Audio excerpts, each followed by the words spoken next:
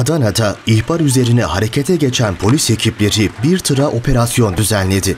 İl Emniyet Müdürlüğü Narkotik Suçlarla Mücadele Şubesi ekiplerince dün tırda 77 kilogram eroin ele geçirilmesiyle ilgili gözaltına alınan sürücü MA'nın işlemleri tamamlandı.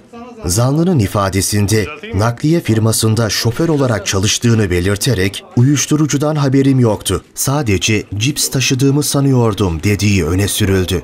Adliyeye sevk edilen şüpheli nöbetçi sulh ceza hakimliğince tutuklandı. Narkotik ekipleri uyuşturucu sevkiyatı yapılacağını belirledikleri tırı kent merkezinde durdurarak dedektör köpekle arama gerçekleştirmiş, 150 pakette 77 kilogram eroin ele geçirmişti.